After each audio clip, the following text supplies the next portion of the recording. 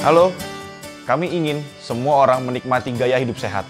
Untuk mencapai hal ini, kita perlu menjadi aktif. Apa pun, situasinya, rival, sekalipun, sekalipun perlu, perlu tetap, tetap bersama. bersama-sama. Kita harus menjaga jarak, namun tidak boleh hilangkan fokus Kita bisa memperkuat solidaritas dengan menjadi komunitas aktif.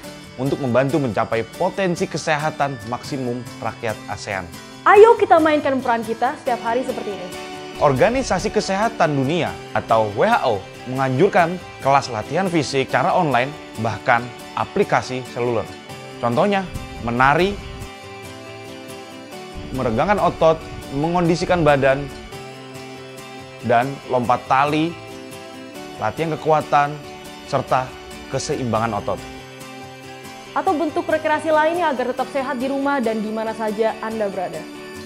Kita ini beragam, Tetapi kalau kita tetap bersama, kita akan lebih kuat. jadilah aktif hari ini, esok, dan selalu. ASEAN, satu visi, satu identitas, satu komunitas, Tetap positif, tetap kuat, ayo lakukan. kita lakukan.